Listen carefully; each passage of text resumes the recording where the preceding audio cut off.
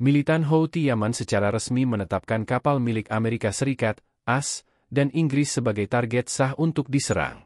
Ketentuan ini tak hanya berlaku untuk kapal militer, melainkan juga kapal sipil. Wakil Kepala Otoritas Media Houthi Yaman, Nasruddin Amer menyampaikan hal tersebut pada Rabu, 17 Januari 2024. Menurutnya, Houthi memiliki dua tujuan dalam operasi di Laut Merah.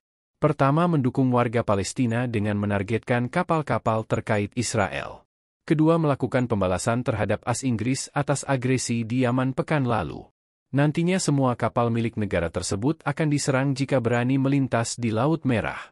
Konflik antara Houthi dan AS bermula saat militan Yaman melakukan operasi di Laut Merah dengan menargetkan kapal-kapal terkait Israel. Washington menuduh Houthi telah mengganggu arus bebas perdagangan global.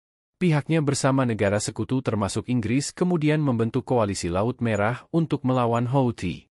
AS berulang kali mendesak militan tersebut untuk menghentikan aksinya, namun selalu diabaikan. Hingga akhirnya AS Inggris meluncurkan serangan langsung terhadap posisi Houthi di Yaman untuk pertama kalinya, Kamis, 11 Januari 2024.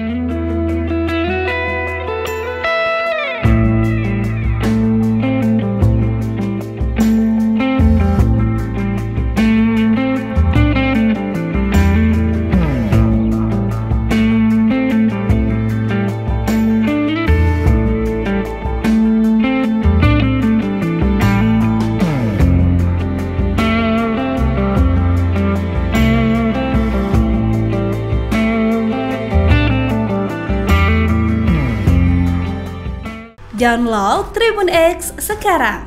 Menghadirkan lokal menjadi Indonesia.